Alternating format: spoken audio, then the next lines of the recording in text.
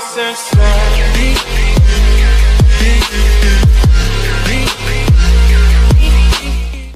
El Comité Clandestino Revolucionario Indígena máximo órgano militar del Ejército Zapatista de Liberación Nacional refrendo su respaldo a las comunidades de esa organización y advierte que no permitirán ningún proyecto que destruya la vida de la humanidad y la muerte de la tierra, porque detrás de todo esto están los intereses de los grandes capitalistas nacionales y transnacionales.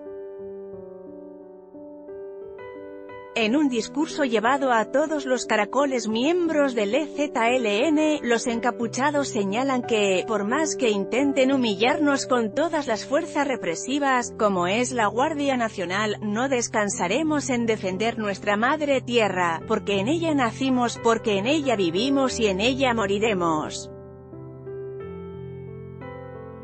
Explicaron que, a pesar de todos los ataques ideológicos, políticos, económicos y amenazas militares y paramilitares, aquí estamos desarrollando la autonomía por la vida de nuestros pueblos.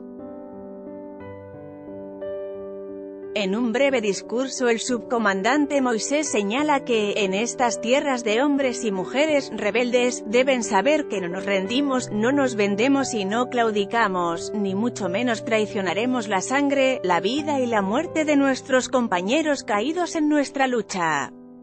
Aquí en los pueblos zapatistas, gobernados por las juntas de buen gobierno y los municipios autónomos rebeldes zapatistas, donde no caben las humillaciones, manipulaciones, engaños, ni mentiras, ni consultas disfrazadas, y en un tono más agresivo subraya, aunque consulten a mil millones, no nos vamos a rendir. O, aunque le pidan permiso a su chingada madre, no nos van a doblegar. Podrán pasar mil millones de años, las zapatistas y los zapatistas aquí estaremos. Punto. Sociedad Preparan Zapatistas Red Nacional de Resistencia